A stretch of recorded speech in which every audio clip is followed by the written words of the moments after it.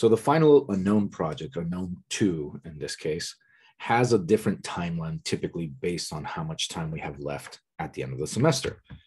Now, depending on when you start and what your sections are, we have kind of a simple breakdown based on the syllabus schedule. Usually the very first session is dedicated to talk about what it's about, how it works, more or less just the general ideas associated with it. However, right after that, the next session we get to meet, now we actually give you your unknown. Usually this will be in person. We would provide you with an actual sample that you'd have to keep in baby and take care of for a little while to make sure you your experiments are uh, nice and organized and neat and clean and safe, basically. But in the remote conditions, we don't provide that to you. We just provide you with the actual unknown number that will be identified with it. And then soon after that, you actually get to start off with your very first primary tests, which are the gram stain and the um, reactive oxygen species tests. And then after that, you get to go on and start working on your flowchart so you can submit it by the next session. And then all the sessions that follow after that, these may be three, four weeks, depending on uh, the semester. Then you'll be solving that flowchart to identify what is your unknown that we assign to you. So what happens is once you're done with the kind of heavy lifting at the beginning, the end of the uh, the semester itself is dedicated to you kind of working on your own to identify your unknown. That's pretty much the overall summary. So what is it? And let's kind of put it together based on what is already present in your lab supplement. This information is always there. So the last set of uh, deck slides that are present in the lab supplement has all of this information spelled out, and I'm actually going to provide you with a quick summary. So as always, we try and give you the overall purpose behind this. Why do we do this? And this is kind of to mimic this idea of clinical diagnosis, this concept of, well, how do we know how to treat somebody in the event that we don't know what they have, what's ailing them? And as we will learn in lecture through epidemiology and pathology later on, the key idea here is, well, before we decide what to give you, like we learn in their control of microorganisms, we need to know what is hurting you first. And that's the part or the field of diagnosis. And so we typically talk about an entire set of terminology called etiology, and that kind of refers to the cause of a disease. And in our field, we're not talking about diabetes or heart attacks, we're really talking about specifically pathogens. And so we follow Koch's postulates when we talked about this on the very, very first uh, day of the course when we talked about the importance of microbiology. We talked about Robert Koch and his postulates, these four to sometimes six steps on how do we confirm the identity of a particular organism. And so this is what we do in everyday labs nowadays. Every single time you go in and somebody takes a urine sample, a fecal sample, a blood sample, whatever, something, a little endoscopy thing going on, that's what they're doing. They're taking a little sample so they can test it, run the battery of tests that we learned in microbiology to identify what could be ailing you. So labs 19 through 38, for example, all those metabolic assays, they run them too. And so they run them one by one to see what type of organism is hurting you. So they set up a series of tests. And the idea then is once they confirm the positives, the negatives, and so on and so forth, then we come up with the identification of that pathogen. Now, those tests are typically not random. There's usually a set of rules behind that. And anytime we're suspecting uh, suspecting something that is uh, bacterial, uh, we always will start off with a gram stain just to double check, and we will always confirm that gram stain with a reactive oxygen species test too. And so after that, then we go through all those metabolic assays that we talked about before. Do they turn green? Do they turn red? Do they turn liquid? Uh, do they die? Do they live? That's what we end up doing. Now, again, this is not random. This is actually performed with a specific strategy in order to identify them. And they're based on two key things. One, typically the urgency of the patient's uh, ailments. So the idea is we don't want to take six days when the person might be dead in the next day, right? So there's a sense of urgency. So there's always a timeline associated that, and we have to stick to it. And then the second one also has to do with money. The idea is we can't just randomly perform a million tests at the same time be a little bit wasteful and probably just not get the right results that we need. Sometimes we can even get false positives and false negatives. So we kind of combine this idea of what can we use and when can we use it to design a good pathway. And so that's what's usually done in real laboratories today. However, we're going to mimic that condi- uh, condition in our second unknown by doing the same thing. We're going to give you a time limit. We're going to give you a little bit of a money limit and the idea that certain tests cannot be performed under uh, strict conditions. And we're going to let you identify what is ailing our patient. And that's where we give you an unknown sample. In a uh, face-to-face lab, you'd actually get an actual sample here. In a remote lab, we'll give you a, remote, uh, a number that you'll have to kind of follow through a series of tests. And that uh, series of tests comes from your flow chart. Okay, so that's the plan. That's what we're going to do. So where do you get all your information aside from typically your instructor? The main source, as I mentioned before, is your lab supplement, right? So that's always present on Canvas since day one. And so the last set of slides uh, in that deck include all the material for the unknown. And so there's already a video present on YouTube for that. So make sure you review that too. But within the lab supplement, I'm going to give you a quick summary in a moment, has all the basic instructions, all the good recommendations, frequently asked questions, and I have tons and tons of examples present there too. And then lastly, usually we always end up having some practice rounds to make sure that everybody is familiar with the key kind of easy to forget rules of creating a good flowchart. Then, as I mentioned before, there's videos for this. And then lastly, on Canvas, in the last module, typically, we have uh, all the documentation that you need. So this includes the instructions, even this set of materials that I'm providing you here, uh, all the uh, handouts, all the report systems, and even the types of results that we always use in previous labs. So pretty pictures, pretty images, um, so you can actually detect or identify or assess a particular type of result. So that's the overall uh, set of resources. So make sure you have access to all of them. Now, to remind you, even from the lab supplement, the second unknown is kind of like a final exam. It's meant to be done alone. It's meant for you to prove your worth on everything you've learned so far. And so the idea is you're supposed to already know everything you've gone through and you should be able to demonstrate it. Now, here's the point is like a diagnosis in real life is you have access to all your materials. So you should be able to use your book, your lab manual, everything else. And your job is to figure out what's wrong with somebody right? So here is you still have access to all those documentations that I just showed in the previous slide, and you get to figure out what's your unknown. That's the plan.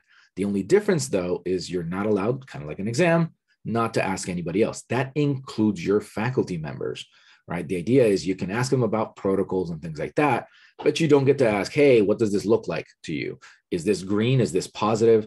That's part of your decision. You take that responsibility of providing those right answers. So uh, if it's part of the process or protocol, obviously talk to your instructor, no problems there. But aside from that, you're kind of on your own. You're meant to uh, be able to identify this like a final exam. Okay, so rely on your supplement, your manual, your notebooks, your own results from your lab reports, and obviously YouTube too. So this is all on you. Now, what happens for those of you who might remember at the beginning of the course, we always talk about the open schedule. Typically because we now want you to be able to perform all your tests in whatever order you can and you for you to be efficient. Again we're talking about urgency here too. All the lab sections become available to you so that means every lab section every single lab time morning afternoon and evening monday tuesday wednesday thursday and we typically also offer uh, friday mornings or friday early afternoon sessions for people to access them those become available to you so this becomes an open lab system meaning that you can come in at any point in time to set up your tests, right? Now, uh, the first two sessions, though, those are the ones where we cover this material that we're going over right now. So they're kind of a little bit intense, right? The idea is you have to come in, you have to make sure you finish your gram stain, your reactive oxygen species, you make sure you finish your, uh, you get your bug list, you flowchart, all of that gets very, very, very heavy. But then after that, then again, it becomes that open schedule that I'm talking about uh, currently. So that means there's no more fixed lab sessions anymore. Rather, the whole system, all the sections, all the instructors come available to you at this point in time. Now, rather than going through the lab supplement that I've already gone through in the previous video to this guy, uh, again, make sure you watch it, make sure you work with the lab supplement, and all that information will be available in some sort of quiz format for you guys to test right before you start this whole thing. So we always want to make sure you're ready to do this, right? Now, in terms of the lab supplement itself, I've kind of broken it down into like a table of contents, if you will, of all the slides that are in there after uh, the very first slide that says the second unknown. So here we have, for example, the same thing that I covered earlier, an intro, but I also talk about how the grading system works. I'll leave it for that for you guys to go over there. Um, an overall on overview of how the schedule also works and how we enter this kind of second phase of open labs, all the forms that you're going to be using. So you're going to be typing in or writing in. Typically, we do this handwritten though. Um, your Gram-Stain reports, your ROS reports, and so on and so forth, and your final unknown report, which is usually the one that is typed. And then uh, there is availability of digital forms of those too, um, making sure that we establish what you're using to obtain your information, which is Bergey's manual. And so that's what is obtained typically from the uh, library for about a two hour checkout. That is allowed to be used uh, with company if you want to, so you guys can work together on those just to make sure you get the right uh, pluses, minuses, variables, etc. And then uh, I showed you a few little samples of them and how to read them and what goes in there. So use that page in there. It's a quick sample. Then uh, we provide you with an example of what it's like to fill the matrix itself. And I'll give you an example a little bit more today. And then really the big focus, the big heavy hitter in the next few slides in there are how to craft your flowchart. And not only in terms of the rules, policies, regulations, call it whatever, there's a lot of them. And since it's worth about half of the points of the actual uh, protocol itself or the actual test, then it's really important that you spend all this time here following every single little detail in here. And so I provide you with a couple of checklists. There's one checklist uh, towards the beginning of that portion, and then there's another checklist at the end. And then I also include a list of common uh, point loss uh, things that occur to students that they miss silly little things that, again, little by little, they start chipping off at your grade. So I really have kind of built a series of slides all dedicated to ensure you have the best, most amazing, bestest, foreverest kind of uh, flowchart that I want you to have.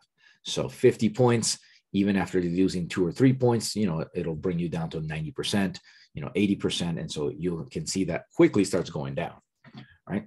And then at the end of that, once I give you the second checklist, again, to make sure that everybody is on par, then right after that, I have a about 10 to 12 different examples, not only my own, I provide you a little bit of a template first, but then I also give you previous examples of students that have approved for me to post their stuff. These are students that got at least a 45 out of 50, or in this case, 90% or higher on their flowcharts. They may not necessarily be perfect, but they were damn good enough to be included in, uh, in our lab supplement and give you an idea how to craft those. The idea here is that way you have something to base on how to craft yours. You'll notice their examples are always top to bottom, pluses are on the left, minuses are on the right kind of thing, making sure that some of them are color labeled, making sure that uh, your variables are always placed on both uh, sides. All those rules that we always tell you, these ones are the best examples I can give you. So make sure you kind of use those as a good uh, place to start. And then after that, typically we end up going through a little bit of a session of practicing flowcharts. And so those are three examples that I provided you at the end. So I'm going to kind of add that over here really quick, just kind of as an example, not really to record it. But the idea then is, let's see if I can get my, there it goes, uh, pen, is that you'll get three examples that I provide you, one of them being kind of a little bit of a silly example based on animals rather than actual um, organisms and we do some little kind of barnyard tests. There it goes. And the idea is for you to start crafting a very, very simple kind of five name uh, flowchart and break them down into ways that you can separate out the animals into their individual categories and showing you that you can do this in multiple ways. And that's one of those things that we always try to establish. There are multiple ways to solve this uh, each flowchart. And that variety, these variables, for example, uh, this variety, I should say, I shouldn't call them variables, is what lets everybody be a little bit more unique, lets everybody be more efficient in their time. So all of this is kind of available to you. Then we actually provide you with your very first real example, actually using uh, a series of gram-positive and gram-negative organisms.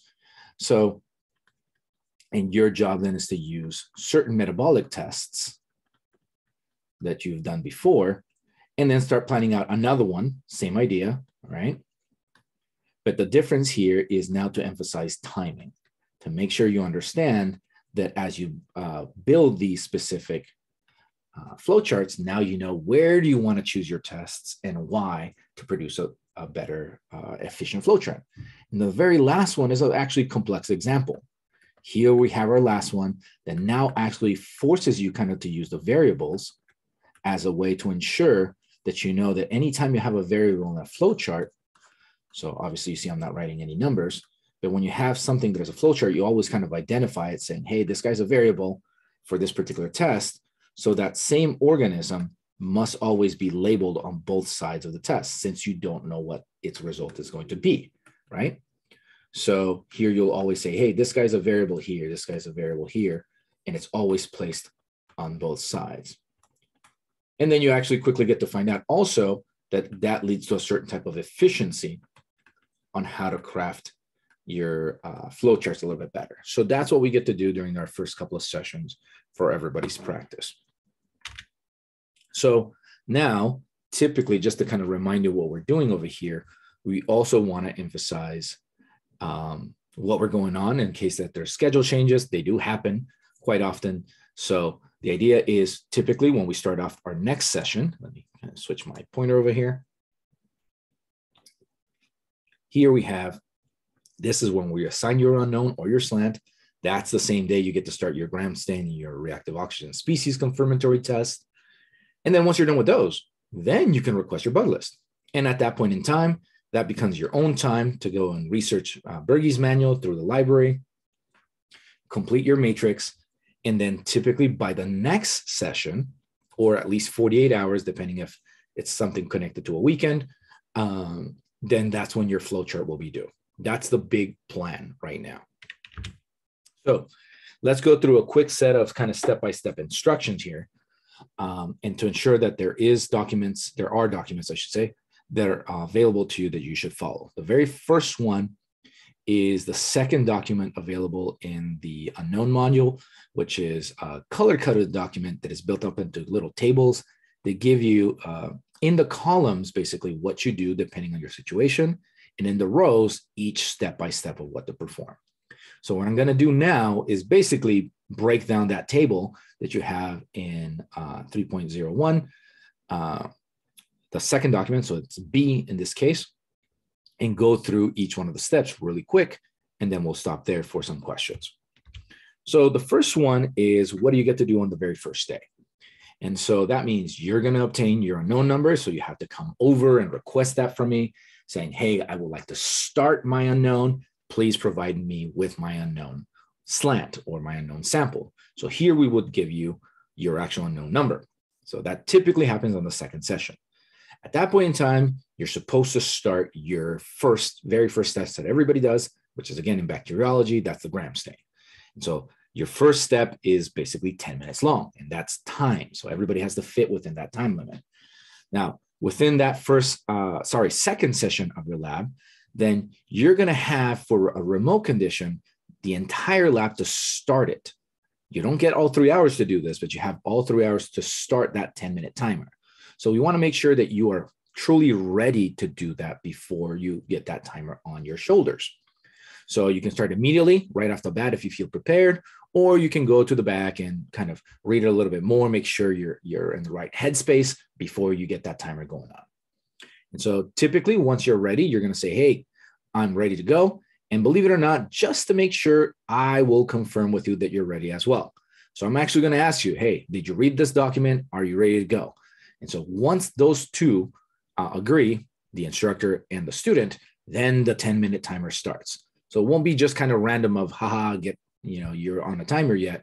We want to make sure you're ready. I'm going to ask to make sure you're ready, and then the timer will start. Okay. At that point in time, we will give you the data for the gram stain that you need to uh, figure out, right? Just like you've done before, we give you some images, we give you some information, and you have to assess it. And so your job is to analyze that data to determine what its gram designation is and its morphology, meaning do you need to know if it's gram positive or gram negative, and you need to tell me its shape, right? Its arrangement. All of those become uh, things you actually need to do. And then after that, once you figure it out what it is, then you write down on your first quarter sheet. Again, this is all available in the lab supplement. on Canvas, but I have a little example of it right here. It looks bigger typically because it's just on a screen, but normally these guys are about a quarter of a page uh, in width and in height. So therefore, that's why you see it uh, called a quarter sheet. So the first one is called a gram stain report. And so you normally fill this out with your uh, laboratory uh, course. So there's a 102, there's a 100, there's a 150.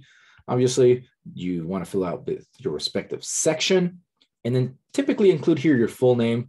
I know it says just last name. Sometimes those repeat. So we want to make sure we know who you are, you, specifically your unknown number. And then here you get to report whether it's gram positive or gram negative. Um, and then here you get to report uh, its shape, right? If it's uh, streptococcus, it's a bacillus, and so on and so forth, those go there. And so this is what you turn into your instructor in person or digitally. It's typically written, not typed, right? If it's digital, you want to submit this as a PDF. And then your instructor will typically get graded within just a couple of minutes tops, up to 10 points. Each of the two answers you're including in here is worth five points for a grand total of 10 points. Now, here's the thing is that these points are final. Um, so for example, let's say your organism was gram negative and you said gram positive. Well, here you'd lose your five points and you'd get five out of 10 instead of 10 out of 10. Now, since we've marked it wrong, then you by now you know exactly what the uh, gram designation for your organism is, so you don't have to figure it out again. Now, once those 10 minutes are done, then you immediately proceed to the next kind of intense step, which is going to be your confirmation test. Typically, we don't just trust the one gram stain. We actually have to do a second test to make sure you're right about your gram stain. And so that's your ROS test or your reactive oxygen species test. And so at that point in time, a second timer kicks in for five minutes. And at that point in time, so we grade your gram stain. And within that same second session, you start your ROS test. So once you respond there again, another uh, five minute timer starts here. And now we'll again send you another set of data with information about an ROS test. And now you, here's where it gets a little bit more uh, specific. You have to figure out which test you're going to perform because we can't just give you any test. Gram stains can be confirmed using different tests. And so gram positives require a couple of tests, gram negatives require a different set of tests. So your job here is to make sure you know which one to use. And you will only know that because of the fact that you've performed the last series of labs that you had to do that were uh, the metabolic assays. And in those, you performed ROS tests that allowed you to confirm gram positives versus gram negatives. So you have to figure that one out on your own. And so once you figure out which test to perform, then you're going to be able to tell me on your other quarter sheet which test you're requesting to do. So you can say, hey, I want to perform this one versus that one. And then you're going to tell me what type of result you expect from that test. And so based on the test you perform and the result you expect, that will confirm whether your organism was actually gram positive or gram negative, right? So the same rules apply. You have a quarter sheet, you have now five minutes to return that, and that will be worth five points, 2.5 uh, points for each of those two answers. Once you get those two steps out of the way, the 10 minute, the five minutes, so grand total of 15 minutes, then you'll be allowed to request that list of organisms that are going to be the possibilities for your uh, for your unknown. So that's the overall uh, intense day that you're starting your first 15 minutes either present in the lab or typically digitally. Uh, you can do these within a 15 minute time frame, making sure that everybody is coordinated for this, right? So then after that, then you can request your bug list, the infamous bug list that contains all the possibilities of your organisms.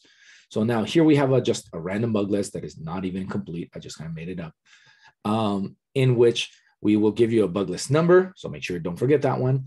And then a non-alphabetized list of all the possibilities that your unknown could be. And so you get to take that list and go to the library and research using only the specific edition, only the specific book, only the specific text, only the specific materials. So I'm emphasizing that many times, right? This will be your only source of information for this particular bug list. So go work on that. And then you'll start inputting that alphabetically by genus. So you notice that I have it on here onto your matrix, right? So again, don't research this off of anywhere else. You can't use Google, you can't use Wikipedia. don't use any of those because they will give you conflicting results with uh, Bergey's manual. So don't do that. So then your job is to take that wonderful 11 by 18 sheet that we gave you, right? So we provided you either through your kit or you can pick it up from the lab itself and you will input all that information that you had from your uh, Bergey's manual and complete and very, very almost complete or almost full, if not full, matrix. Like I said before, especially if you read the lab supplement, this guy should be about 95 to 100% complete. Sometimes there may be one or two results out of here that may be missing in Bergey's manual, and that's okay. There's nothing wrong with that. It does happen, but nobody should have large chunks of these missing at all, right? So um, the situation in which one or two organisms may be missing one or two little squares in here is about a one in 50 shot. And usually there's a couple of hundred of you guys, which then that means it might happen to one or two of you, three of you, maybe at best. So it's very unlikely that you'll be that person. So if you are missing lots of squares in here, you really want to go back to Bergey's and search more thoroughly. Trust me, the information is there. Okay. So copy onto your matrix, make sure you alpha, alphabetize it by the genera, so by the genus. And then at that point in time, you'll have until your next session to uh, construct your flowchart.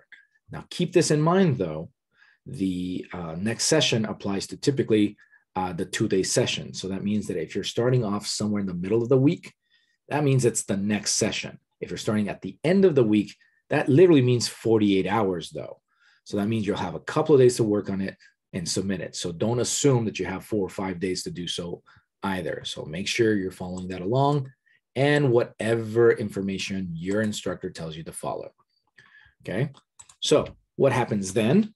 Once you have your awesome flowchart built up, right, you can submit that for grading. And so again, before you submit it, make sure you follow all those pages in the lab supplement, those checklists, those FAQs, Make sure you're checking for those common mistakes. You really don't want to get yourself into a situation of regrades. But if you're going to start getting regrades, this is when we get to emphasize if we're doing this digitally, depending on your session, uh, you're going to be submitting everything typically through, uh, through an email as opposed to in person. And so make sure the couple of uh, common mistakes that will happen, you don't want to lose out on your grading, is make sure you're using your email. And what I mean by that is your school email, not a proxy email, not a Gmail, not a Hotmail account, that kind of thing. You're not even supposed to be using Canvas. Why? Because we're going to be receiving hundreds and hundreds of these in a very, very small amount of time. And we want to make sure we focus on you. And so that means we typically update our filters on our emails to ensure that we don't let anything else in aside from school emails only. So if you end up using some sort of proxy or linking it somewhere else, your email probably won't come through. Okay. The other thing is that happens is since you're going to be submitting PDF files all the time, make sure you're actually attaching the file into the body of the email, not a link to the file itself. Google Docs are known infamously for doing that, right? And you won't be using Google Docs, but I'm just giving you the heads up is that rather than sending go see my file over there, that's actually wasting time to your grader. So make sure the file is in the body, not the link to the body of the file. Okay, so keep that in mind. All the things you're going to be submitting should be in PDF format and make sure that both the PDF file itself, so the file name is correct, as well as the document title is correct. And so keep in mind, these are different things. So when you're creating a file on your computer, remember the file has a name, right? And so you need to make sure that it includes the information pertinent to that. But then inside your file, the actual document itself, then make sure it has all the critical things like your name, your unknown number, all that good stuff, Otherwise, we end up just sending it back to you saying, we don't know who this is, try again. Make sure that also everything is included in uh, the body of the email, like I said, specifically in landscape format, because the graders, including myself, we usually end up using tablets to make sure we can grade these things, right? And so what happens is I'm sure somebody's uh, received at some point in time a picture that hasn't been rotated and you have to turn your neck or kind of lock your phone into place to make sure you can grade it. The same thing applies to us if we have to kind of tweak your file all over all over the place, it makes it difficult to grade. So make sure that you're submitting the uh, the email and in the body of the email, everything is landscape, but also kind of it should be access landscape too. So otherwise, we will send it back to you saying, do it again. Okay. And then make sure that if there's any regrades, you're naming your files as they go too. That way we know which one is which. Otherwise, we'll get confused. And again, we'll send it back to you saying which one is which. Again, wasting time, right? Now, at this point in time, once you submit it for grading, you're kind of just left to a little bit of a waiting period, right? We have to go through hundreds of these typically. And so even at a good five to 10 minute timer at this point in time, just 10, 20, 30 files, at that point in time, that turns into hours of grading. So that means you probably want to be patient. So hang in there. I don't encourage you to send any email updates because that'll tag onto Outlook and put your email at the back of the list because it's brand new. And so it kind of resets you. So just hang in there, give us a, at least 48 hours before you decide to start um, being concerned about that. And at that point in time, we usually send updates to everybody saying, hey, we're almost done grading, hang in there, that kind of thing. All right. So once that is done, once you get your uh, grades done, two things will actually have to happen. Not only your point system will be put in there, but the word approved will actually appear on your flowchart. If the word approved doesn't uh, appear, that means you cannot start doing your set of tests. So make sure the word approved appears on it. Okay. What does this mean? If you get approved, if you get a score, let's say 48 out of 50 or something like that, and the word approved appears on it, then a new uh, file will appear for you that will include a code for you to solve. That code basically is a series of steps, a series of numbers that correspond with another image compendium, just like you've had before, that allows you to solve the identity of your flowchart. Normally, you would be actually performing live tests in the lab, figuring out if it's positive, it's negative, did it grow, did it not grow, and so on and so forth. Here, you're going to do the same thing, but just using images, at least for the digital version of this. So you're going to use that code to solve for those results. Once you have that code, you can go through, you know, the pages on the slide deck of that compendium and then figure out, oh, my organism is doing this test and I'm getting this type of result. Once you have that all put together, then you should be able to figure out what your unknown number uh, identity is. And then you can write your report just like it's posted in the portal, and all the instructions are there. So that's the overall idea of our second unknown. All you have to do is, again, make sure you read the lab supplement, watch these videos, and follow these key, you know, six steps or so, and you should be good to go.